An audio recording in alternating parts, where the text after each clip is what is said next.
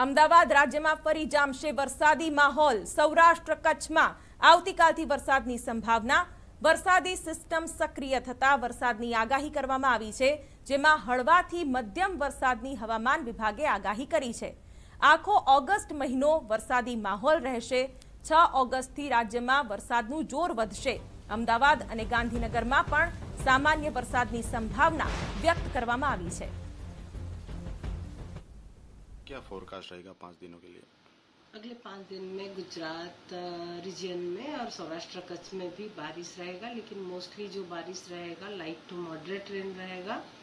और गुजरात रीजन में many places में like few a few places लेके मतलब स्कैटर्ड प्लेसेस लेके मेनी प्लेसेस तक भी बारिश हो सकता है। डे फाइव यानी छः तारीख से रेनफॉल एक्टिविटी थोड़ा सा बढ़ सकता है।